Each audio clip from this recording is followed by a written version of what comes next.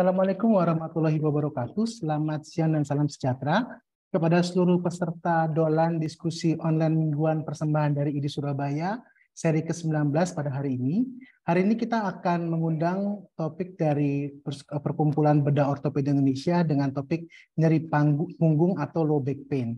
Tapi sebelum kita masuk ke acara webinar kita hari ini, kami persilakan Ketua IDI kami, Dr. Dr. Brahmana Iskandar, Spesialis Obstetrik Konsultan uh, Subspesialis uh, Onkologi Ginekologi untuk memberikan pembukaan. Kami persilakan, Dokter. Assalamualaikum warahmatullahi wabarakatuh. Selamat siang. Yang saya hormati Dr. Ereza, Dr. Prima Deni, kemudian Dr. Larona yang mengisi acara Dolan ke-19 mengenai low back pain ya, nyeri punggung bawah. Nah, terima kasih juga kepada Dr. Charles, host di tengah kesibukan meluangkan waktu menjadi host, juga semua panitia yang membuat acara ini bisa berjalan dari minggu ke minggu. Saya juga menyapa pada partisipan, di sini ada 275, beranjak naik terus, biasanya sekitar 400-500. Terima kasih banyak setia mengikuti acara Dolan. Jadi acara ini tiap minggu, kalau mengikuti acara ini kira-kira setiap minggunya mendapat 3 SKP dalam sebulan 156 SKP setahun 156 SKP, lima tahun 780 SKP dan tidak dipungut biaya sama sekali. Dan silakan login jam 15 sampai jam 16 dan sebetulnya dolan ini acara kedua setelah acara TV yang selalu tepat waktu ya. Acara TV selalu tepat waktu, belum ada yang molor dan acara dolan ini mudah-mudahan bisa bertahan terus. Sekali lagi terima kasih kepada Dr. Eresa, Dr. Prima Deni, Dr. Larona meluangkan waktu siang hari ini. Terima kasih sedekah ilmunya. Demikian yang saya sampaikan, nanti akan dipimpin oleh moderator dan narasumber. Wassalamualaikum warahmatullahi wabarakatuh. Terima kasih kepada Dr. Brahmana. Kita akan lanjut masuk ke dalam webinar kita pada hari ini dengan moderasi oleh Dr. Ereza Rahardiansyah, spesialis ortopedi, dengan narasumber yang pertama Dr. Primadeni Aresya Erlangga, Magister Sains Spesialis Ortopedi Konsultan, dan Dr. Laruna Hidrafianto, Spesialis Ortopedi Konsultan. Kami persilakan bagi seluruh peserta yang ingin bertanya dapat memberikan pertanyaan melalui uh, room chat yang ada, dan kemudian untuk bagi yang ingin live kami juga persilakan untuk mengangkat raise hand. Kami kami silakan kepada Dr. Ereza untuk memulai webinar kita hari ini. Terima kasih. Bismillahirrahmanirrahim. Assalamualaikum warahmatullahi wabarakatuh. Selamat sore. Sebelumnya yang saya hormati Dr. Dr. Brahmana Askanda spesialis ortop, spesialis obstetri dan ginekologi konsultan onkologi atas sambutan dan undangannya untuk perhimpunan bedah ortopedi Jatim khususnya saya mewakili perhimpunan saya mengucapkan terima kasih atas sambutan dan undangannya dokter. Kemudian yang saya hormati juga narsum dan sejawat senior saya Dr. Larona spesialis ortopedi konsultan uh, tulang belakang dan juga Dr. Bima Deni spesialis ortopedi konsultan tulang belakang. Terus kemudian terima kasih juga Dr. Charles selaku host pada acara hari ini. Izin saya memoderatori acara hari ini yang dengan tema uh, low back pain atau nyeri punggung bawah. Uh, seperti kita ketahui, kasus LBP ini termasuk kasus elektif yang paling sering muncul di poliklinis kedua setelah kasus OA. Jadi memang semoga apa hari ini banyak manfaatan dan untuk menarusnya para GP di poliklinis umum mereka masing-masing. Tanpa menunggu waktu lama, mungkin pertama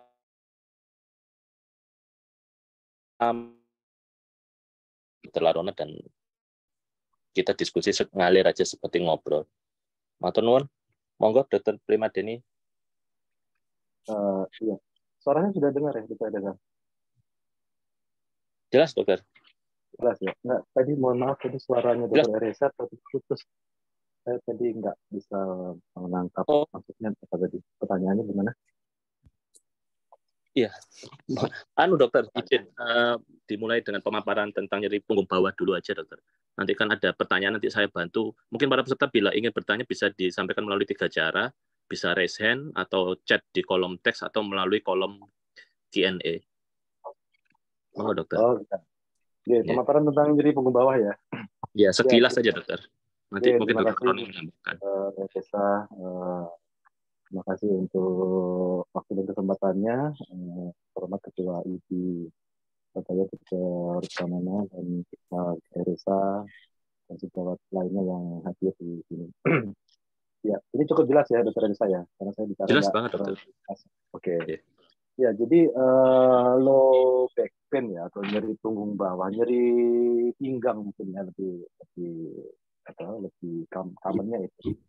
Itu sebetulnya nyeri yang uh, cukup banyak, uh, paling banyak malah itu selama saya praktek di ortopedi, baik saya sebelum menjadi konsultan spine atau bahkan setelah jadi konsultan spine, nyeri-nyeri punggung bawah itu adalah keluhan yang paling umum pada pasien-pasien yang datang ke kita. Uh, penyebabnya sih macam-macam ya, karena nyeri sendiri itu kan uh, yang kita ketahui kan sangat subjektif ya. Dan uh, faktor untuk nyerinya sendiri di dekat punggung bawah sisa atau di itu juga banyak sekali yang bisa menyebabkan nyeri seperti ototnya lah atau nerve-nya atau tulangnya sendiri atau mungkin diskusnya atau bahkan fasetnya. Nah, eh, beberapa penanganan-penanganan ini banyak eh, modalitas yang bisa kita lakukan.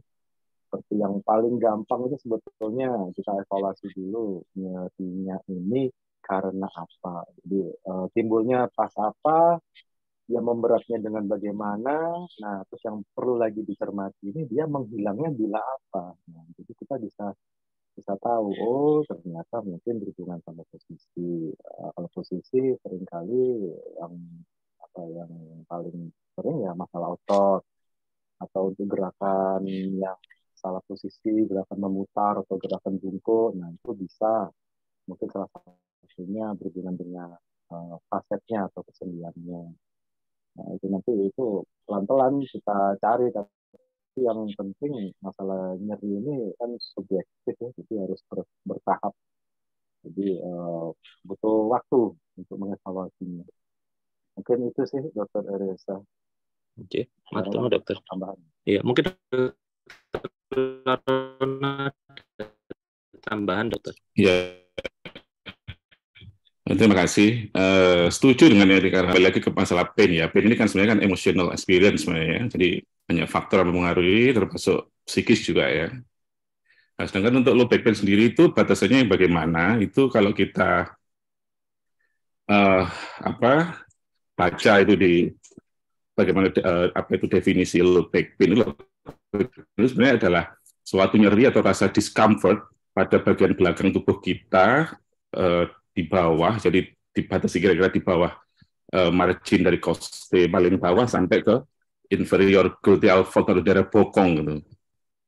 Kemudian nyerinya itu bisa disertai leg pain atau tanpa leg pain ya. Jadi kadang-kadang uh, orang dengan low back pain itu bisa disertai juga dengan nyeri menjalar ke kaki, tapi juga bisa localized di tulang belakang. Nah, yang patut kita cermati juga adalah bahwa sebenarnya 85% sampai 90% low back pain itu ternyata adalah non specific low back pain. Jadi ternyata kalau kita investigasi itu ternyata tidak ada uh, spesifik apa patologi yang spesifik begitu. Sehingga sebagian besar non spesifik back pain. Ya. Jadi mungkin karena kelelahan, karena uh, postur yang kurang baik, salah posisi tidur misal atau bekerja terlalu berat dan sebagainya seperti itu. Nah, terus kemudian bagaimana bila low back pain ini tidak uh, kunjung sembuh gitu, mereda, seperti yang katakan Dr. Denny tadi, ya harus kita dalami. Karena seperti kita tahu, uh, tulang belakang kita, atau spinal kolum kita, atau kolumna spinalis itu tidak hanya dari tulang, tapi di, di situ ada otot pastinya ya, ada diskus intervertebralis, yang pasti ada nerve, di situ ada ligamen, di situ ada tendon dan sebagainya. Mungkin seperti itu dari saya. Ya dokter. Jadi memang low back pain ini kan temanya terlalu luas.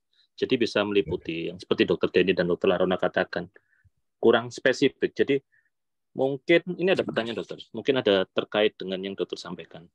Nah ini ada pertanyaan dari peserta uh, untuk low back pain. Apakah langsung dicek? Ini maksudnya mungkin diagnostik atau dicoba dulu dengan medikamentosa dokter?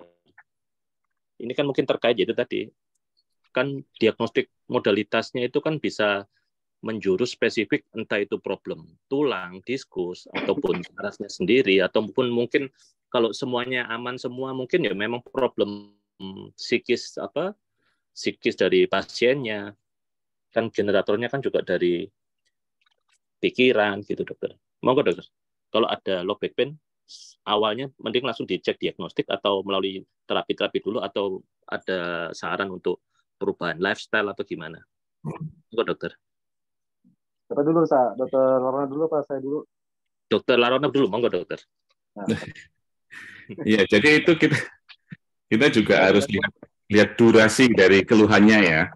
Jadi uh, back pain atau low back pain sendiri itu sebenarnya kita bagi dalam acute low back pain, subacute low back pain, dan chronic low back pain.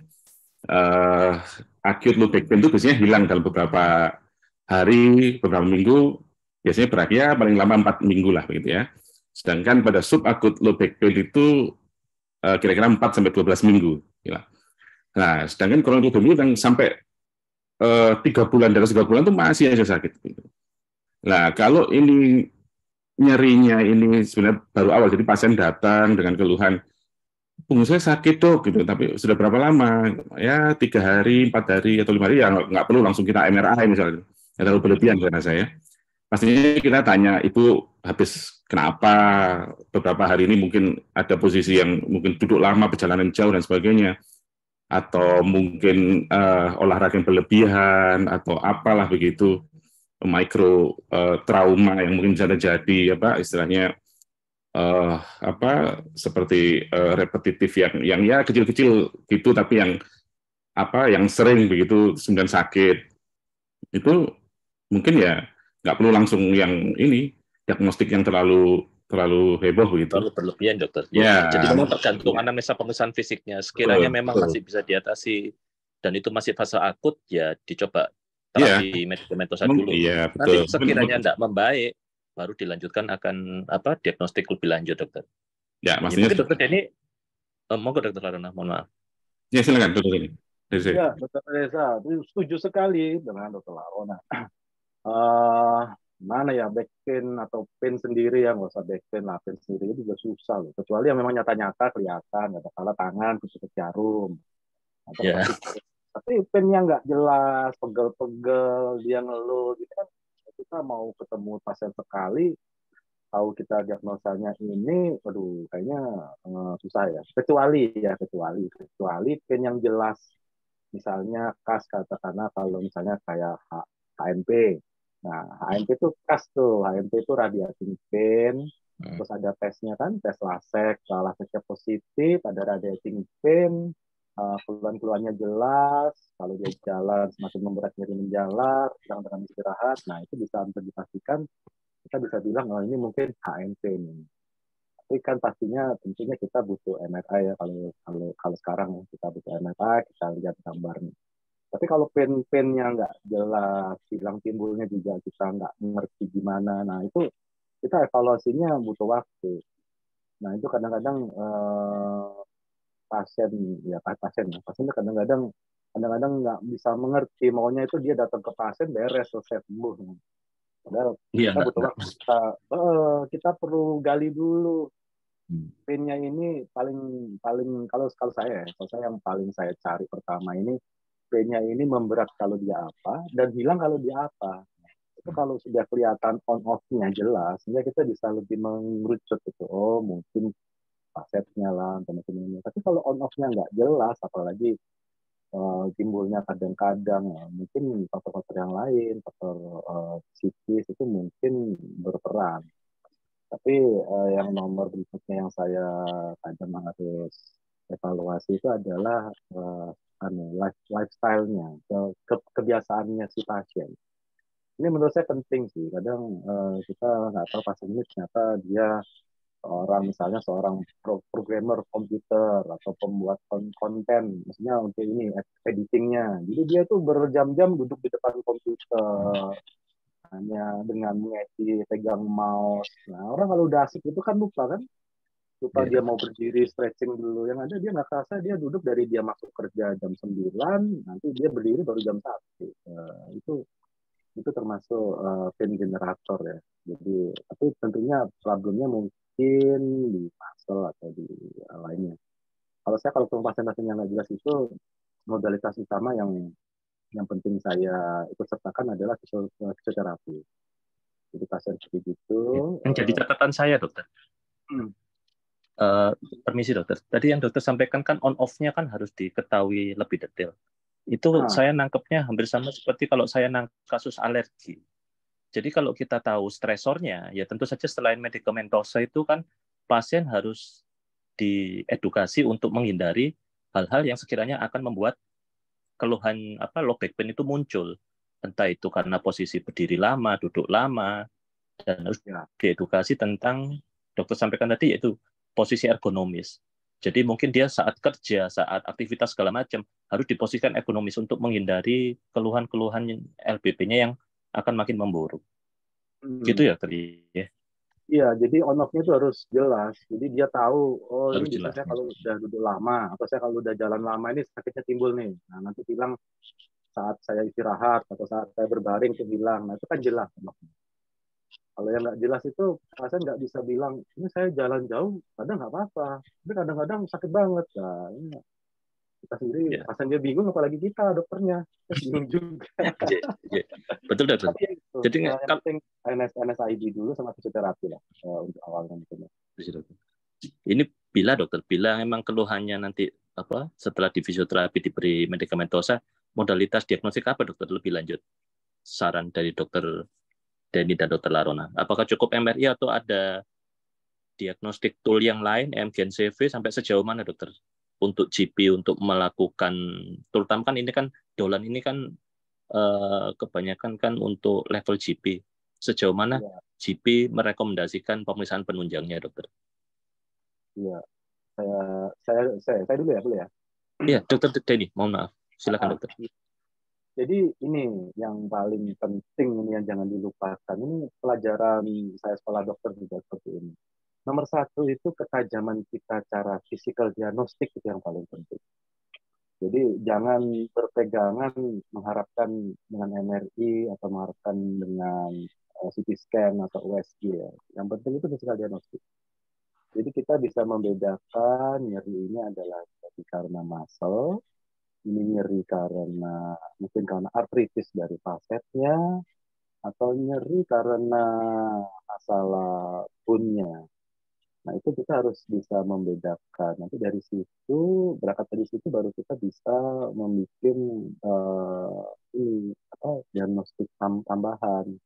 Diagnostik penunjang. Jadi X-ray. Nah, kita X-ray-nya kita uh, tahu mau seperti apa yang di lumbal atau bahkan nyerinya itu mungkin bukan lumbalnya itu, saya mungkin mungkin hipnya. Nah, sering kan pasien nyeri back pain tapi dia jalannya limping gitu Hmm. hmm. dia pincang itu uh, ada namanya spine syndrome ya. Jadi karena dia pincang yang nyeri di eh, yang yang salah yang tidak sama panjang ada kakinya, dia timbul back pain. Nah kalau kayak gitu-gitu mungkin ngobatinya ya nggak usah di operasi atau apa, cukup di edukasi kakinya yang pendek sebelah diganjel aja sol satunya disamain tingginya kayak gitu satu contohnya. Nanti kalau yang lain-lainnya sih, uh, ya itu kalau sudah pasti kita bisa mengerucutkan, oh ini mungkin kanal stenosis nih, atau mungkin ini suatu TB, uh, baru kita bikin MRI atau CT scan, atau kalau dari situ nggak jelas, misalnya banyak, wah di MRI kok banyak bendol-bendol, ini diskusnya ini mentung lah, yang ini mentung, akhirnya ya itu nggak pasti yang itu kita pertajam pakai yang di MCP. Gitu. Jadi saran untuk mungkin untuk GP mungkin hanya sekedar X-ray ya dokter. Kan juga iya sih, kalau, membaca kalau, MRI kan terlalu advance. Mungkin ah, setelah ada diketahui ada kelainan mungkin perlu dikonsulkan iya. ke spesialis yang memang menangani kasus-kasus spine. Mm, ya. Uh, apa ya ya mohon maaf sebelumnya bukannya bukannya saya saya yakin GP juga banyak yang yang mempunyai kompetensi membaca MRI. Lebih ya, ya. Tapi kan uh, kembali lagi sesuai SKD ini, dokter. Iya. yeah. Enggak, ini bikin MRI itu kalau menurut saya harus yang tepat dulu. Jadi kalau kita curiganya merupakan suatu katakanlah suatu MBD ya, metastasis disease. Yeah. atau suatu infeksi. Mungkin bikin MRA-nya terus kontras. Nah, jadi uh, kalau untuk gitu sih saran saya pertajam dulu mungkin ya physical diagnostiknya sehingga bisa mengerucut ke kira-kira keluarnya benar di punggung atau di sisnya nanti otomatisnya pakai X-ray dulu. X-ray sebagai besar kalau problem tulang atau klasifikasi atau itu pasti kelihatan kok dari itu. Cuman yang mempertajamnya pakai MRI. Iya. Baik dokter, terima kasih. Dokter Larona mungkin ada tambahan dokter? Iya, jadi benar modalitas sejauh mana GP ya. harus bisa melakukan penunjang pemeriksaan penunjang pada kasus LPP. Jadi begini, uh, saya uh, setuju sekali dengan Dr. Denny ya. Jadi penegakan diagnosa itu anamnesa itu penting. Jadi dengan ketajaman anamnesa, history taking itu ternyata sangat membantu kita dalam mengarahkan diagnostik ini kira-kira akan ke mana begitu ya. Pada back pain itu memang kita harus jeli, untuk seperti yang kata Denny ya. Jadi bahkan pembagian back pain itu atau low back pain itu bisa ada juga yang membagi mechanical low back pain dengan inflammatory low back pain. Pada kasus-kasus in, inflammatory, misal pada kasus-kasus rheumatoid misal, itu bahkan pasien itu malah akan lebih sakit pada saat istirahat. Kebalikannya dengan mechanical low back pain, mechanical low back pain dipakai istirahat enak, dipakai beraktivitas semakin sakit. Inflammatory dipakai istirahat, dipakai tiduran malam, dia malah nyeri.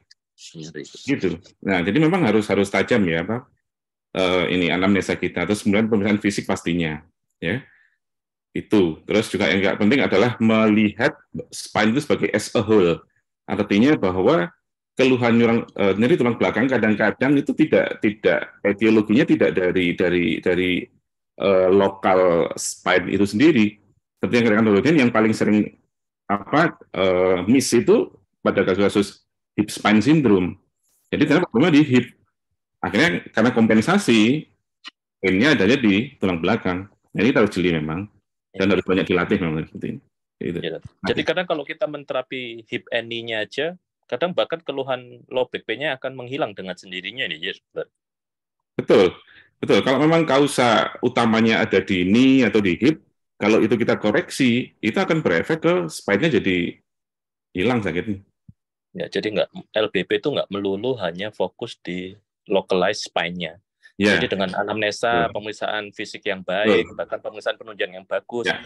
nanti kan akan mengarah entah itu spine-nya atau hip atau knee yeah. atau bahkan tiga-tiganya sekaligus, mana yang harus diterapi lebih dulu sehingga nanti akan apa? akan ada progres dari keluhan dari low back pain-nya sendiri. Kalau kita mampu mendiagnotik dengan benar dan terapinya juga exact di daerah yang memang terjadi patologis. Gitu ya, dokter? Ya. Nah, setelah penunjang, dokter, kira-kira eh, penata laksananya kan tentu ada terbagi dua untuk operatif dan operatif. Untuk non operatif sejauh mana, dokter? Perkembangan terkini yang ada di ya paling enggak di Indonesia saat ini, dokter, sejauh mana? Monggo, dokter Larona. Ya, jadi uh, kita setelah kita tentukan diagnosa, diagnosa, ya kita akan treatment pasien tersebut sesuai dengan kausanya pastinya, kan? Ya, kita me, me, me, mengobati simptomnya dan mengobati kausanya pastinya. Jadi pada kasus-kasus yang ringan, mungkin yang uh, misal pada misal kita bicara tentang stabilitas, kalau itu suatu unstable uh, condition atau maaf, misal itu suatu stable condition gitu, ya mungkin kita konservatif. Uh, konservatif apa yang dilakukan? Yang pertama yang paling mudah dilakukan bahkan oleh pasien itu sendiri adalah dengan memperbaiki postur. Ya, sebagian besar case back pain itu adalah karena postur yang buruk, bad posture ya. Jadi uh, pasien ini uh, tidak ergonomis, artinya bentuk tubuhnya. Misal kita lihat dari sagittal view-nya atau sagittal plane-nya itu, uh, kurva dari tulang belakangnya itu tidak tidak sesuai dengan kurva normalnya uh, spine, gitu ya. Nah itu yang harus di, di treat pada pasien ini. Bagaimana uh, cara dia tidur, bisa istilahnya, terus bagaimana alas tidurnya, itu. Terus kemudian bagaimana dia cara untuk memperkuat otot-otot punggung misalnya ya, back muscle strengthening. Bila perlu kita konsul ke ke sejawat kita teman-teman rehab misalnya bagaimana membuat uh, postur tubuh pasien ini menjadi lebih baik gitu ya. Itu saya rasa. Kalau mungkin kalau untuk medikamentosa ya seperlunya saja. Jadi kalau nyeri ya minum obat yang ringan-ringan saja, paracetamol dan sebagainya. Terus kemudian mungkin perlu muscle relaksan, ya gitu-gitu aja physical therapy aja kalau untuk untuk kasus-kasus yang uh, konservatif artinya yang yang yang non operatif case gitu. Ya dokter. Ya. izin anu ini ada pertanyaan yang spesifik dari kolom Q&A mungkin saya tujukan ke dokter Primadeni karena terkait juga apa sejauh mana GP mampu, apa harus menterapi kasus LBP. Ini ada pertanyaan dari anonim ini. Bagaimana dokter, bagaimana cara membedakan low back pain yang spesifik dan yang non spesifik dok pada praktek umum? Dan apa yang bisa dilakukan oleh GP di praktek umum? Nah ini menyambung yang tadi sejauh mana? Monggo dokter Denny.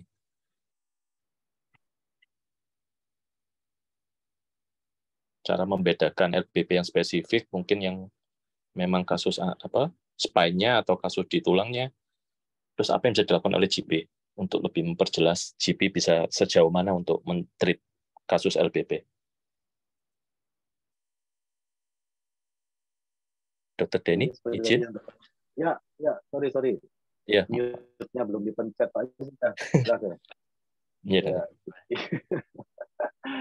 Jadi uh, seperti yang Dokter Larona tadi sampaikan itu modalitas awal yang penting. Jadi uh, kita nyerinya ini saat apa ini? Kalau istirahat, udah nyeri nah itu mungkin baru-baru inflamasi bisa ya tapi kalau dia aktivitas mulai pindah posisi aja pindah posisi dari tidur ke duduk nah itu nyeri di mana dulu? Jadi misalnya di punggung di area lum, lumbal. Nah nyeri seperti apa nyerinya nyeri tajam atau nyeri tumpul? Kalau nyeri nyeri tajam mungkin ya mungkin kayak facetnya bisa masalah. Ini kita ngomong konteks di luar trauma ya, di luar trauma. Ini uh, problem degeneratif. Uh, terus kalau dia untuk ber, berdiri tegak, berdiri tegak, dia sudah sakit nggak? Dia sakit, nah ini sakitnya yang gimana dulu? Sakitnya di tengah tulangnya atau lebih ke muscle-nya. Saya kadang gini ngeceknya kalau muscle itu nyeri, dia bilang nyeri, itu nyerinya nyeri tumpul kalau masuk itu biasanya nyeri tumpul. Jarang yang nyeri tajam, kecuali robekan dari dari masalnya atau paratan musiknya. Nah, kalau masal sakit terus dipijet, masal itu kalau sakit dipijet itu akan lebih relief, akan lebih enak. Nah, itu biasanya gitu. Kalau masal satu mau berarti ini masal masal tapi kalau nyeri karena bone-nya, ini jangankan pasien untuk berdiri, mau dia beranjak dari duduk aja atau dari berbaring ke duduk aja itu udah nyeri sekali. Lalu kalau untuk dari duduk ke berdiri itu juga nyeri nyeri sekali. Dan nyerinya biasanya ya di area-area uh, patologinya ya, misalnya kita ceritanya di area lumbal 4 atau 5, misalnya nyerinya ya di bawah situ. Nah, uh, tapi beberapa case, kayak case-case degeneratif, kayak misalnya osteoporosis fracture pada apa pada orang-orang tua, itu kadang yang paling sering itu adalah uh, patologi di area thoracolumbar junction, jadi di antara T12 antara L1. Nah, ini agak agak agak sedikit berbeda karena nyeri pada pasien yang seperti ini itu nyerinya juga di lumbal bagian bawah. Jadi hmm. biasanya nyeri memang memang di area bawah. Tapi kalau diperiksa kita tekan-tekan, kita fleksikan sedikit, kita ekstensikan, baru kelihatan nyerinya di situ, nyerinya di area di serangka 12 sampai 1 ini. Jadi uh, ya gimana jelasinnya ya? Um, kalau modalitas awal yang penting itu tadi sih um, apa? Uh, analgesik gitu. Physical jalan uh, terus untuk pertemuan pertama mungkin ya pertemuan pertama hmm. paling nggak kita coba dengan NS NSID dulu dengan NSID terus kalau misalnya ada fisioterapi nah itu bagus banget itu kalau pasien-pasien yang problem degeneratif itu boleh diterapi dengan kayak kata seperti ultrasound atau stent gitu. Um, itu dulu yang kita berikan nanti kita evaluasi setelah NSID lima hari ke tujuh hari. Baru kalau nggak hilang baru mungkin kita bikin X-ray atau mau langsung dikonsultan boleh. Tapi kalau kita bicara pasien trauma ini lain kalau trauma ini kan kemungkinan ada sesuatu mungkin kayak fraktur ya.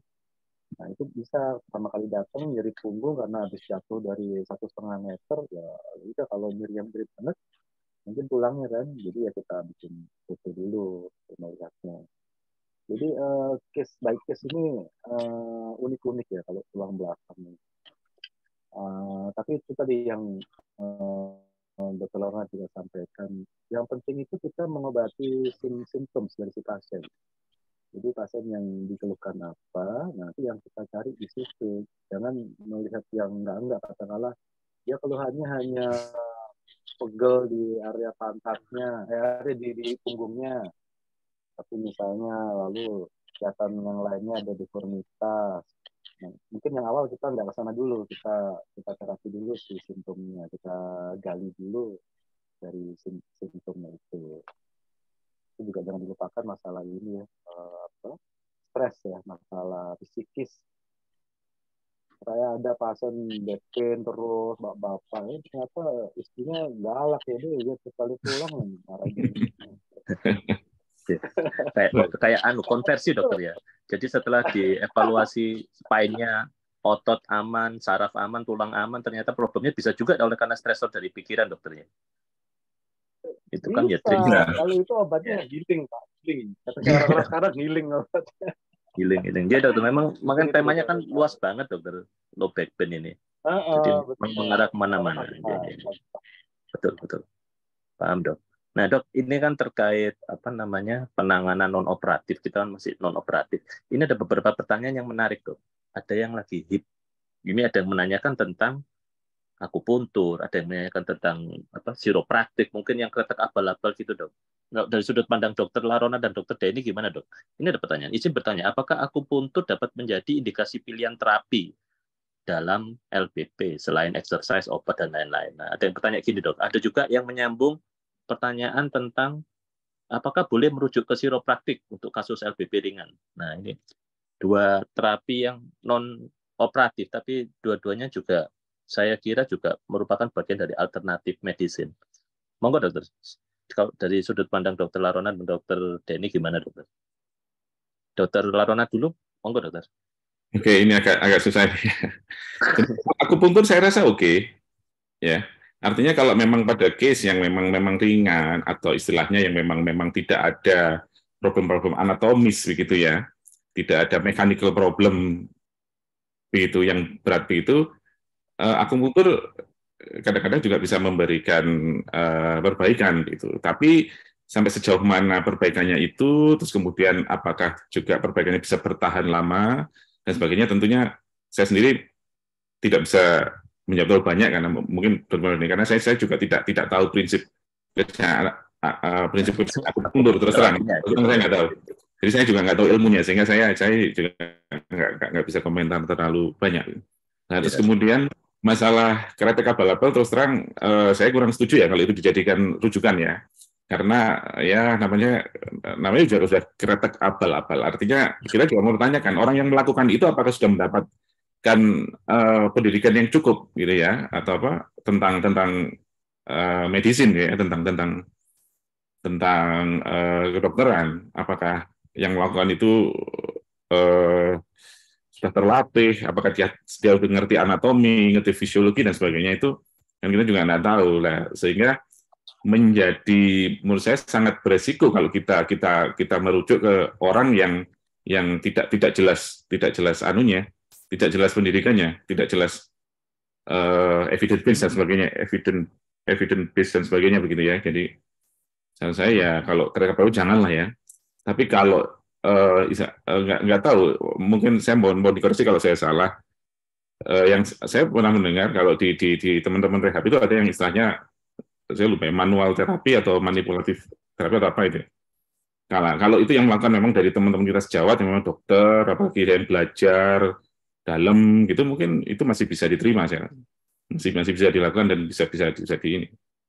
Tapi kalau yang abal-abal yang orang awam yang nggak jelas itu ya ya janganlah. Itu nggak pendapat saya mungkin dokter terima paham dokter. Monggo dokter di mana sih lagi ya. dokter terapi ini Betul, ini jawabnya ini repot ya. Tahu repotnya kenapa? Repotnya karena waktu saya belajar kedokteran, ini nggak ada ilmu saya pernah belajar.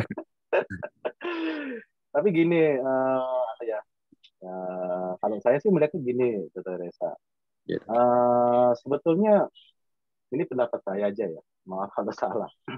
Mungkin sama-sama bagusnya, ya. Cuman kita melihatnya kan dari sisi mana dulu. Kalau dari sisi medis, itu beberapa itu tindakannya membahayakan. Ada yang bisa menyebabkan cedera. Nah, itu itu itu bisa terjadi dan saya dengar sih cuma sudah ada kasusnya beberapa yang terjadi. Tapi kalau dilihat dari segi beliau-beliaunya itu yang melakukan, mungkin beliau akan berpendapat tuh ini adalah pilihan yang paling oke okay daripada operasi atau ini, ya kan? Jadi eh, gimana ngomongnya? Ya, sama kayak mau bicaraan ini loh. Mungkin orang yang suka fotografi ya, seperti saya. Orang mau pakai kamera Nikon sama Canon bagus yang mana? Yang Nikon bagus yang bilangnya Nikon, bilang merek Canon itu mereknya printer. Tapi yang pakai Canon bilang kamera ya Canon lah, masa Nikon. Jadi gitu. Um, ya tetap selera aja. Mm -mm, ya bukan bukan selera, tergantung dari mana kita melihatnya. Kalau kalau saya melihatnya dari segi medis, uh, beberapa tindakan yang beliau-beliaunya itu lakukan itu ada yang saya nggak sepaham karena itu bisa membahayakan itu. Tapi itu dari segi kami ya, dari segi medis. Ya, dan juga saya tidak pernah mendalami atau jangankan mendalami belajar aja saya nggak pernah tentang itu ini kalau dikretek ini gini efeknya apa bisa rilis enggak itu saya nggak ngerti tapi kalau tujuannya hanya untuk uh, rekreasi maksudnya re, re, rekreasi itu untuk rekreasional gitu ya uh, kayak pijet ya pijet, yeah, yeah. biasa data-data pijet pijet pegel itu loh relaksasi Uh, itu kan Efek boleh rilis stresnya ada dokter. Yeah. Mm-hmm, benar. Masa kalau dipecah kan uh, tubuh kita kan mengeluarkan hormon kan. Nah itu uh, akan memberikan dampak yang positif. Cuma nanti kalau sudah dipergunakan untuk menterapi beberapa keadaan khusus, nah ini saya yang agak nggak setuju karena belum yeah. tentu itu uh, bisa betul gitu loh. Jadi malah bisa bisa membahayakan. Itu menurut kami yang di medis. Iya. Yeah, yeah. Jadi memang sudut pandang medis itu kan melihat secara whole apa presisinya itu kan di anatomi. Misal kasus kalau ankylosing gitu kan akan makan membahayakan kalau misal dilakukan apa manipulatif. Kasus-kasus ankylosing bukannya malah membaik nanti malah keretak malah patah semua. Jadi memang kembali lagi, emang harus melakukan tindakan itu harus ada ada ilmunya. Hmm. Keilmiahnya yang yang memang apa levelnya kalau di level jurnal kan Q1 yang memang evidence base-nya sangat amat apa dipercaya dan beredar luas. Ya dokter. Nah, kalau setelah di apa setelah LBP di medikamentosa nggak membaik, fisioterapi nggak membaik, tentu kan pilihan operasi akan jadi pilihan yang uh, terakhir dokter.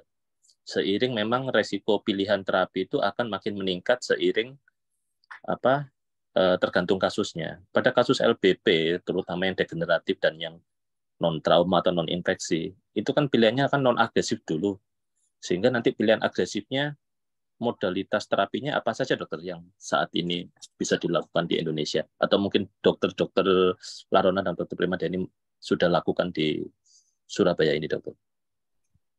Monggo dokter Denny dulu. Oh ya, terima kasih. Operasinya sejauh mana dokter? Kemarin, Jadi, kemarin. ya operasi-operasi kita di Indonesia di Surabaya atau di Indonesia ya itu sebetulnya nggak ketinggalan loh. Bukan nggak ketinggalan sama aja sebetulnya. Dengan yang dilakukan operasi-operasi di negara-negara luar baik itu di Singapura atau di Jepang di Amerika itu sama saja. Uh, bahkan kita di Asia ini di Indonesia ini kita punya robotik. Nah nanti saya jelaskan nanti tapi operasi-operasi yang bisa kita lakukan ini sudah banyak banget, mulai dari open surgery, ya operasi yang terbuka untuk masang pen, atau yang hanya dekompresi saja, itu bisa kita lakukan terbuka maupun dengan minimal invasi. invasif itu kita ada pasang pen pun kita bisa dengan minimal invasif, dokter Reza. Jadi eh, lukanya luka kecil-kecil, satu sentian gitu, tempat masuknya skrupnya. Nah, atau hmm. kita mau dekompresi, mau mau ngambil ini nih kalau istilah HNP. Ya, kita bisa ngambil HNP-nya dengan endoskopi juga. Lukanya kecil, paling sejentit ini lukanya. Itu sudah bisa kita lakukan dan sebetulnya itu sudah umum kita lakukan.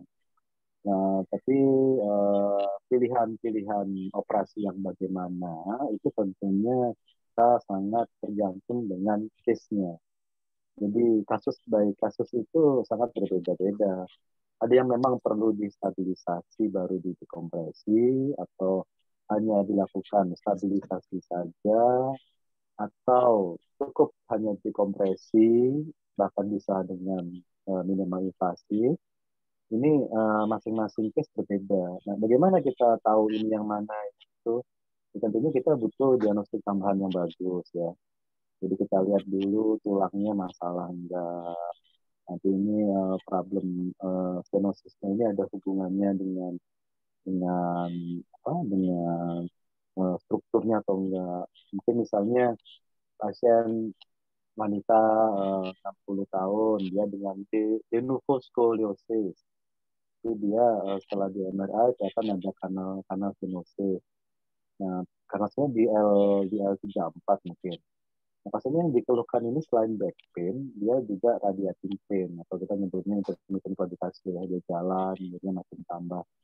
Nah ini kalau kita mungkin sekedar hanya melakukan dekompresi saja mungkin nggak cukup. Jadi karena problem strukturalnya juga bermasalah karena setiap kali dia berdiri yang jadi masalah itu adalah sakit karena uh. Nah kalau kayak gitu ini mungkin perlu kita stabilisasi.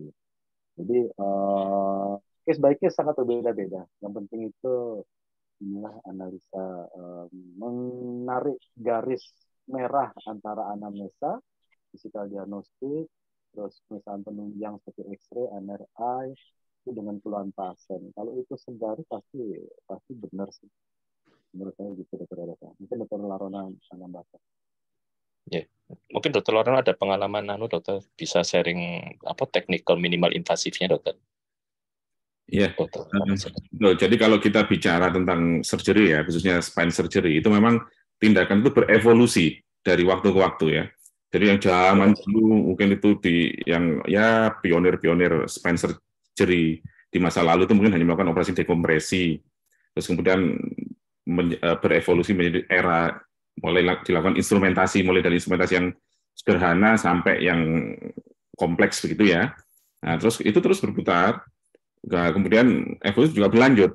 Terus setelah itu kita masuk pada era-era mikro, mik mikroskopik decompression begitu. Nah, kemudian dari mikroskopik decompression ini ternyata ber, berevolusi lagi ini yang paling sekarang paling paling paling hype itu adalah endoskopik. Jadi endoskopik surgery minimal uh, eh, MISS istilahnya ya, minimal invasive spine surgery. Jadi uh, kita bicara minimal invasif ya. Jadi minimal invasif itu kalau saya pernah baca bahwa uh, mengatakan bahwa future of surgery itu adalah minimal invasif begitu ya. Jadi memang memang ini tidak bisa artinya arus yang memang harus kita ikuti. Ilmu ini harus kita grab, harus kita kita kuasain begitu ya. Jadi apakah apa itu minimal invasi? Minimal invasi itu adalah suatu suatu tindakan atau suatu surgery atau suatu pembedahan yang di apa ya, di uh, yang bercirikan atau uh, ber, mempunyai karakteristik dia small incision atau tiny incision, terus kemudian uh, shorter hospital stay, jadi uh, hanya sebentar di apa perawatannya, waktu perawatannya. Kemudian yang ketiga less pain. Itu ya. Jadi biasanya tiga itu anunya. Apanya cirinya dari minimal invasif. Nah, bagaimana di spine surgery? Spine surgery ya ternyata juga harus mengadop ini apa uh, teknik ini begitu. Nah, ini uh, ini dan dan itu itu kita sudah kita pelajari, kita sendiri sudah melakukan untuk kasus-kasus degeneratif terutama ya, untuk kasus-kasus uh, stenosis, untuk kasus-kasus HNP itu kita sudah melakukan banyak sekali case. Bahkan uh, saya sudah sudah melakukan operasi minimal invasif khususnya spinal endoskopi sejak tahun 2018 sampai sekarang ini. Jadi saya melakukan transforaminal decompression, kemudian melakukan interlaminar approach, endoscopic approach untuk diskektomi, untuk dekompresi semuanya. Ya kan? Dan sampai saat ini hasilnya bagus, asal dengan indikasi yang tepat seperti Dr. Jenny tadi katakan bahwa Eh, kita juga tidak boleh artinya melakukan operasi ini serampangan gitu ya. Jadi indikasinya harus pas ya. Apakah ada instability atau tidak. Jadi prinsip-prinsip itu tetap harus, harus dipegang.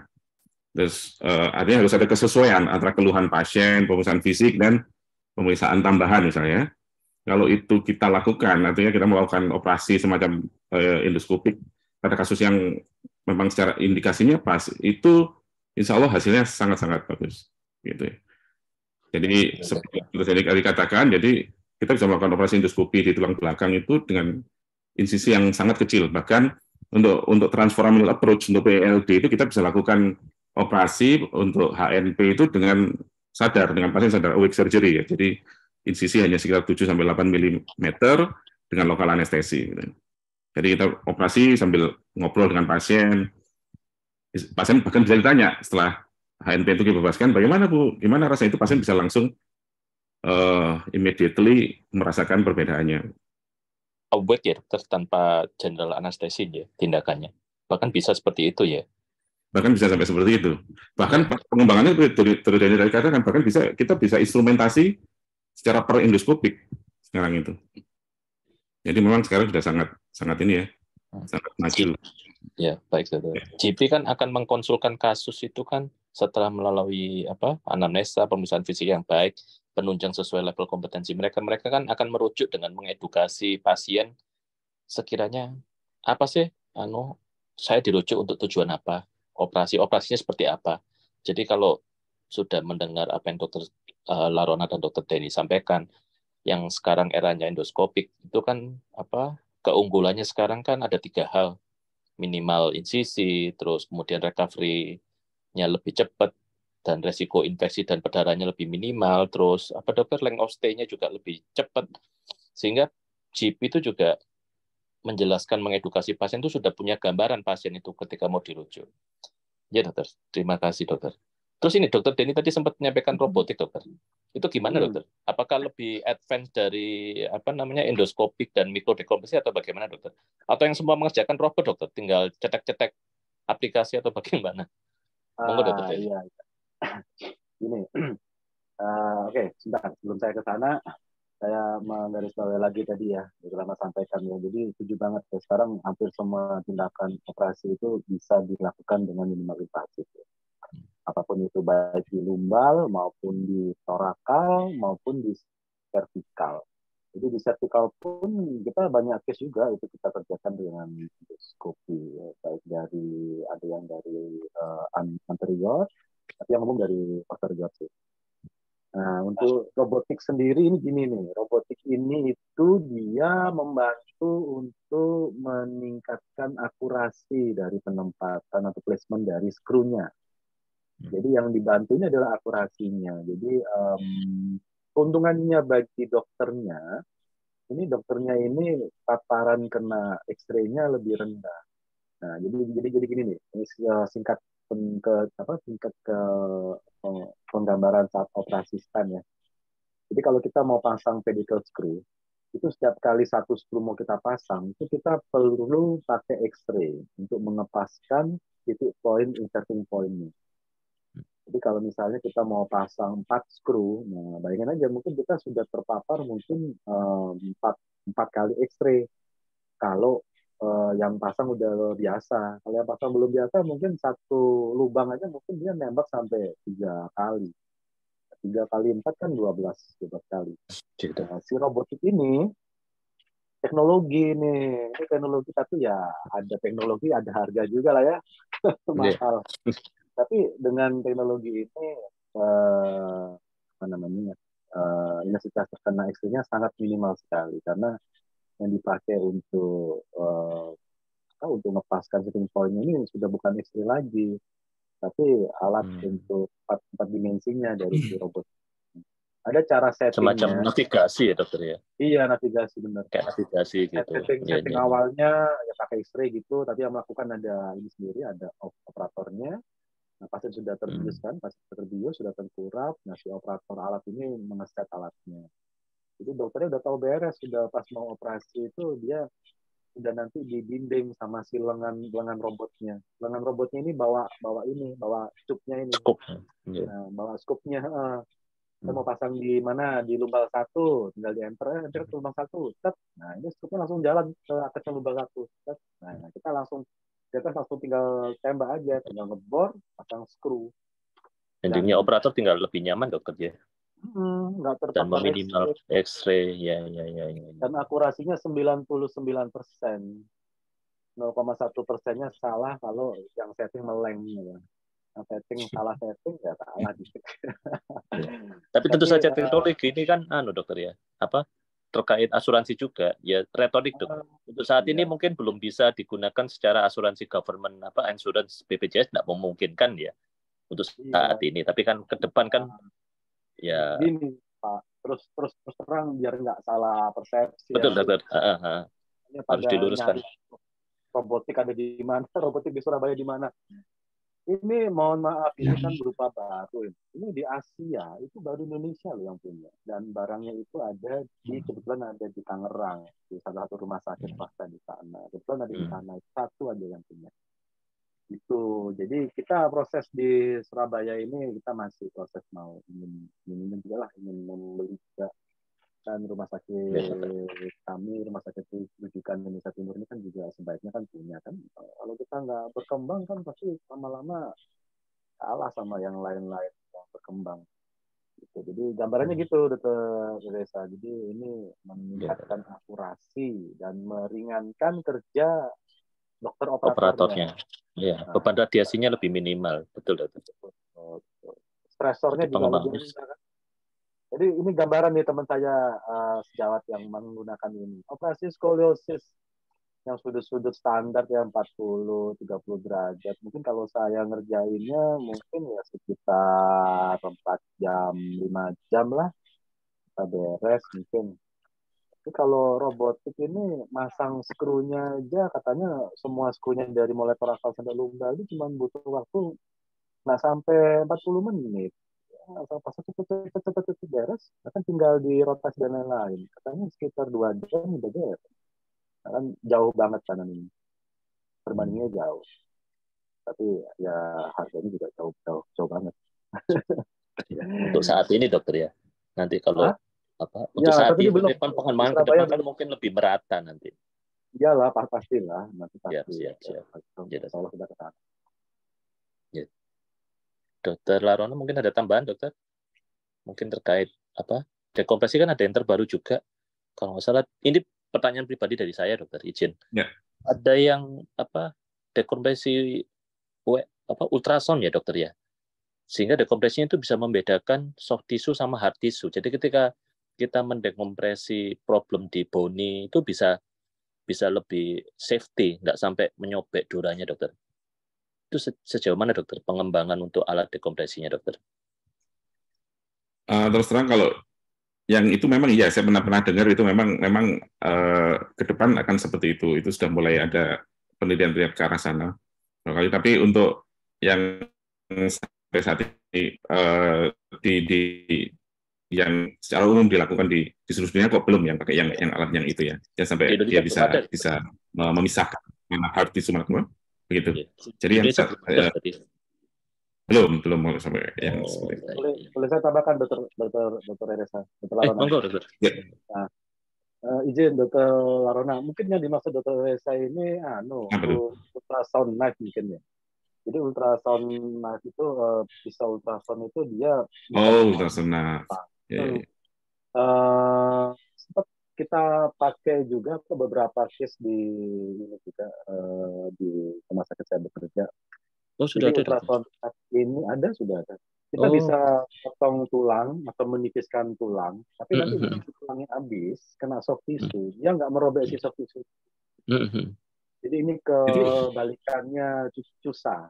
Kalau cusa itu dia untuk mem- membersihkan atau memotong jaringan yang patologis.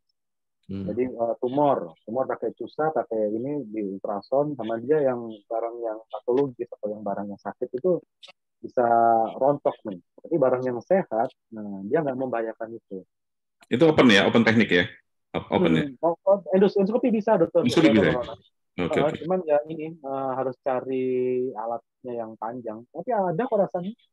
Hmm. Oh iya, satu lagi dokter Reza, mohon maaf. Eh, saya tadi baca iya, ada pertanyaan, ada pertanyaan ini loh. Nah, Maaf, ini mana? eh, siapa ini? Rat, Ratna Mulyani ini tanya, mohon tanya dok, bila terjadi LBP karena jatuh dan sudah di ronsen hasilnya terjadi kompresi fraktur dan diberi mesindronat 35 mg oh, yeah. per minggu. Uh, biasanya berapa lama pemberiannya? Usia 60 tahun.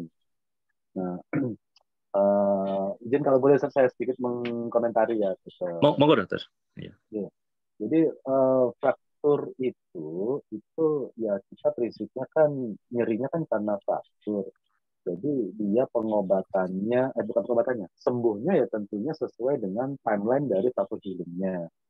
Cuman pada beberapa kasus seperti yang kita kata bersama, fraktur ini kan agak susah healing nih kalau nggak stabil atau kalau bergerak-gerak terus, nah dia kan nggak bisa gini Jadi uh, mungkin kasus seperti begini mungkin jangan apa ya uh, boleh-boleh saja pemberian mesodorat acid uh, boleh-boleh saja dengan 20 mg bagus.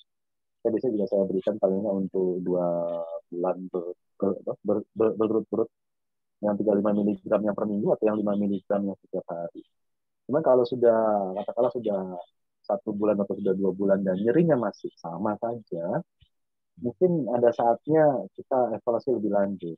Jadi ada beberapa faktor kompresi itu yang kelihatannya dari foto X-ray-nya sepertinya hanya faktor kompresi, tapi setelah kita CT scan ternyata dia bukan simple kompresi, ternyata dia faktor ini faktor kayak sakital ya. Jadi dia terbelah juga. Nah itu agak susah untuk union. Jadi uh, kasus seperti itu mungkin ada baiknya kita evaluasi lebih lanjut kita pastikan bagaimana bentuk frakturnya nah sekarang ada banyak ini pilihannya dokter Reza. Uh, di sini semen kalau orang bilang. Soalnya kita nyebutnya kipo plastik Ya, di injeksi semen. Yeah. Oh, kasus-kasus osteoporosis itu sangat bagus banget kalau kita lakukan fisioplasti. Tapi tentunya dengan ini ya, indikasi-indikasinya harus jelas ya. Jadi ya, biasanya ya tidak semuanya bisa, tapi kasus yang memang dikasih itu kita suntik dengan fisioplasti di semen itu kayak sulap. Pasien mau dioperasi nyeri, bangun nyerinya udah berkurang 90 persen, tinggal persen aja. Nah, mungkin itu dokter Reza. Terima kasih. Oke, terima kasih dokter. Wah ini anu, kasus apa tema hari ini memang low back pain tidak akan selesai sebenarnya dalam satu jam.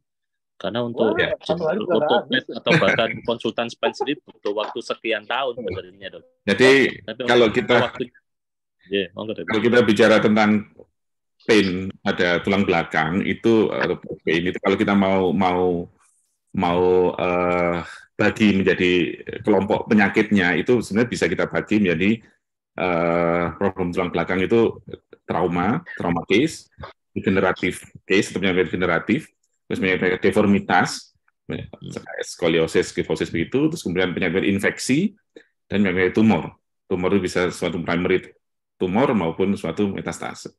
Jadi kalau itu mau kita bahas memang ya jadi uang. Banyak ya, satu item sendiri tapi tapi sudah butuh waktu lama dokter. Jadi memang case yang case yang paling banyak kita eh, praktek apa didapat di tempat praktek memang masih mostly degeneratif case-nya. Trauma juga banyak sih saat ini ya juga. Ya berkaitan baik. dengan ya, trauma baik servikal, torako dan lumbal itu bisa dilakukan ya dokter ya. Banyak banget. Tapi banyak banget. Yang yang anu mungkin awal yang bisa dijadikan patokan aja ya. Pastinya kita lihat secara holistik ya. Kalau pasien KU-nya baik dia nggak ada sakit yang lain maksudnya dia tidak pernah sakit tumor eh, kehadiran mesa dan kedahulunya dia nggak ada tumor ya mungkin mungkin bukan tumor mungkin. Hmm. karena primary primary tumor pada spine itu jarang banget. Banyak kan Nah, tapi kalau kasus-kasus yang seperti infeksi kayak uh, eh, TB, nah itu juga lumayan banyak. Tapi biasanya berhubungan, sering kali pasiennya juga ada TB paru-paru. Tapi belakangan ini pasien saya yang TB paru juga, eh, yang yang TB stem juga nggak TB paru juga, juga ada beberapa. Nah, jadi ya kita lihat pasiennya lah, uh, nanti sama di foto X-ray paling nggak kan bisa khas gambarannya kan kita bisa melihat itu gambarannya uh, fraktur atau destruksi karena infeksi karena TB atau karena tumor itu paling nggak kira-kira gambarnya nggak berubah kok gambarnya begitu aja. Jadi, Maturnuwun Dokter Larona dan Dokter Denny. Izin ini waktunya juga sudah out of time. Izin resume dokter. Iya, enggak kerasa. Temanya luas banget, dokter. Jadi paling enggak iya. yeah. harapan saya sendiri ya untuk GP level GP apalagi yang mungkin spesialis lain yang mengikuti dolan hari ini ya paling enggak dengan apa anamnesa pemeriksaan fisik yang baik pemeriksaan penunjang yang apa yang memang presisi itu akan meningkatkan akurasi terapinya modalitasnya apa bisa baik itu konservatif maupun operatif pun ada open ada mikro ada yang minimal ya paling nggak mereka mampu mengedukasi ketika merujuk pasien itu sudah paling nggak pasien punya gambaran akan diapakan. Jadi kadang emannya itu pasien dirujuk tapi tanpa tahu malah tanpa tahu kalau ada rencana operasi. Paling nggak ketika merujuk itu GP juga sudah ada memberikan sedikit gambaran ke pasiennya. Sehingga mereka tahu kalau dirujuk spesialis bedah, ya paling nggak ada pertimbangan untuk operatif. Seringkali kan dokter ada pasien rujukan terus tiba-tiba masih kaget. Misalnya ada pilihan untuk operasi. Harapannya eh, apa yang bisa disampaikan hari ini bisa menambah manfaat dan keilmuan untuk para GP khususnya apalagi level apa eh, spesialis lain yang mengikuti hari ini. Mungkin Dokter Laron ada Dokter Anus closing mau ada tambahan? Uh, Dedi? Ada ada pesan yang ingin disampaikan, pesan khusus untuk para GP-nya? Ya, uh, jadi memang uh, pesan saya adalah memang uh, low back pain adalah kasus yang sangat banyak. Uh, eh, WHO sendiri itu memasukkan low back pain ini menjadi suatu uh, namanya itu global burden uh, disease gitu ya. Jadi memang suatu kondisi yang menjadi uh, concern gitu ya, karena kasusnya sangat-sangat banyak dan uh, impact yang disebab apa di di ini kan dihasilkan oleh kasus ini itu oleh low back pain ini sangat-sangat nggak enak gitu ya impact secara medis pastinya sosial ekonomi. Terus kemudian pasien menjadi tidak produktif kerugian-kerugian yang dihitung secara uh, uang itu menjadi banyak gitu. Jadi akhirnya penangan kita harus apa ya menjadi uh, apa concern semua stakeholder bahwa bahwa memang penanganan pain ini harus harus harus sebaik mungkin. Sehingga pengetahuan tentang back pain sendiri juga harus semakin ditingkatkan gitu. Terus kemudian yang kedua pesan saya adalah bahwa saat ini Eh, pengobatan, teknologi pembedahan semakin modern, semakin canggih begitu, dan kita di sini sudah sudah bisa mengadop hal tersebut sehingga uh, jangan ragu-ragu lagi untuk kita bisa bila kasus, uh, pasien membutuhkan tindakan untuk untuk, untuk di, dikerjakan di negara kita sendiri karena kita sudah bisa melakukannya. Itu aja. Nggak perlu sampai ke ya dokter ya. Siap. Nggak perlu saya rasa. Makasih kalau, pesannya dokter. Siap, kalau siap. main aja nggak perlu. Tetap. Iya, dokter siap. Iya. Di apa uh, spiner di negara kita sudah cukup mengatasi kasus-kasus tersebut. Ya, dokter ini ya. mungkin ada ada pesan untuk GP ya. dokter. Iya, iya, Dokter Reza, oh, ortopedi spine di Indonesia ini udah sangat-sangat mumpuni banget lah. Ya. Iya, yeah, iya, yeah, dokter. Nggak perlu jauh-jauh ngarin biaya, ada sekali kalau pakainya kelebihan biaya. Tapi ini sih yang penting, um, apa ya, uh, mungkin uh, dokter-dokter itu uh, kalau mengalami kesulitan gimana mendiagnosa atau gimana menterapi sih kalau saya nggak usah ragu-ragu lah kita bantu untuk mengevaluasinya kita rujuk karena um, kalau menurut saya sih um, back pain itu mungkin nggak tidak banyak juga yang berakhir dengan op, anu, operasi kita lakukan modalitas terapi fisioterapi Nah, ini sekarang yang ngetren ini IPM ini, betul Intervention Pain Management. Oh ya. Yeah. Uh. Itu kan beberapa uh, pain management uh, seperti kaset block atau satu iliak uh, block atau energi nervous block hmm. itu kita lakukan dan hasilnya sangat memuaskan. Bagus ya. Uh, jadi kalau pada gambaran MRI-nya itu nggak terlihat terlalu stenosis, itu kadang bisa terselesaikan dengan blok itu. Karena blok yeah. itu kan bukan hanya sekedar lokal anestesia, dia kan juga ada hmm. steroidnya. Jadi juga bahkan ada pilihan antara apa non operatif sama operatif ya dokter, seperti hmm. pen intervention ini. Itu kan ya. bukan bukan konservatif juga ya. bukan, tapi operatif juga bukan. Benar. Ya, ya, ya, dokter. Tapi, tapi jangan disalahartikan semua kasus bisa disuntik, bukan begitu. Ya, hmm, ada spesifiknya Jadi, sendiri. Uh, pilihan anu aja, pilihan sebelum berani operasi ya Operasi, atau ya. Memang memang tidak indikasi operasi, tapi untuk mengurangi konsumsi analgetik oral, Betul. ya kan kalau minum analgetik oral kan nanti gastritis Ya. lah apa, nah itu kita pilihannya bisa di IGR. Hmm. Sekarang kan kita banyak yang menggunakan radiofrekuensi, kita lakukan ablasi Ya, dan ya. Hmm. ya oh, itu banyak juga kita lakukan. Nah tapi kok intinya em, gimana ya kita siap membantulah untuk me- me- bukan hanya mengedukasi tapi untuk membantu untuk menggali menganalisa ini karena saya juga tahu sendiri eh, challenge sendiri menegakkan diagnosa eh, karena apa pun ya itu susah pak kadang-kadang kita bingung-bingung nulisnya juga LDP kan LDP padahal setelah lu iya kan bingung masa datang Iya, sama iya. kayak gini gini Ya, Nulisnya apa ya? LBP, J. Nanti setelah di fisioterapi berkali-kali gak hilang, kita baru ketemu, oh ternyata dia ini pakai OA ternyata. OA ya pilihannya mungkin ya tadi itu dengan PCM, kita untuk steroid, kita enak. Kalau dengan itu masih nggak enak, ya mungkin pilihan operasinya divisi gitu. Jadi itu sih Dokter Desa, eh, kita Siap, siap, siap. membantu, jangan sungkan-sungkan untuk ke Siap, dokter. Terima kasih. Ditanggung Dok. tidak, tidak langsung dioperasi. Dokter. Maksudnya datang kita langsung wah operasi nih. Nah, Ya, ya, ya. Nggak, nggak juga, dokter. Jadi ada pilihan juga border antara operatif sama non operatifnya. Paham, paham. makanya, Sambil noto apa pasien biar sambil nyiapkan mental buat operasinya juga. Ya, ya. iya, sama kita juga sambil mempertajam, bener nggak di situ nyerinya? kan? Betul, sambil Karena operasi kan sekali jadi bubur kan ya udah. Ya, per- permanen ya, dokter. Ya. Mm-mm. Yang Kita juga. ada pasien nggak puas akhirnya timbul komplain kan ke Ya, dokter. betul, betul. kita ortopedis kan kita juga nggak mau itu terjadi. Jadi kita selalu membiasakan eh, kita pelan-pelan lah kita cari sehingga bagaimana. Itu dokter Ya, dokter. Ya, matur nuwun.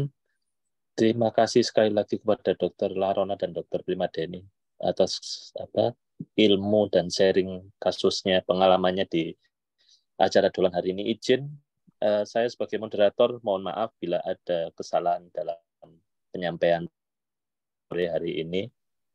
Kalau gitu sekian, saya kembalikan acara Dokter Charles silakan. Terima kasih Dokter Ereza. molor 10 Oh nggak apa-apa, nggak apa dok. Ye, matur Sangat menarik sekali hari ini eh, topiknya dok. dokter. Terima kasih untuk Iya. pengajarannya mengenai low back pain. Akhirnya kita Iya. bisa eh, mengerti ya dok ya apa apa itu low back pain, bagaimana Iya. pengetahuan yang tepat. Jadi terima kasih Dokter Ereza, Sampaikan Dokter Terima kasih saya juga ke seluruh panitia dolan ya. Siap, siap dok. Terima kasih dok. Terima kasih sekali lagi Dokter Ereza, Dokter Primadeni, Dokter Larona atas kesempatannya, atas waktunya untuk bisa berbagi dengan teman-teman dari ID Surabaya. Terima kasih juga kepada peserta sebanyak 520 yang masih sampai akhir acara setia. Kami eh, ingin mengundang juga pada hari yang sama, setiap hari Senin jam 15 sampai jam 16 untuk Dolan seri ke-20 pada tanggal 27 Maret dengan topik screening kanker serviks yang akan dimoderatori oleh Dr. Muhammad Yusuf, spesialis obstetrik ginekologi konsultan, dan narasumbernya Dr. Dr. Brahmana Askandar, spesialis obstetrik ginekologi konsultan, dan Dr. Indra Yuliati, spesialis obstetrik ginekologi konsultan pada hari yang sama dan jam yang sama. Jadi demikian dari kami, dari seluruh panitia. Mohon maaf bila ada salah kata, dan kami tunggu eh, untuk seluruh peserta eh, acara Dolan setiap minggunya kembali pada minggu depan. Assalamualaikum warahmatullahi wabarakatuh. Vale, pues.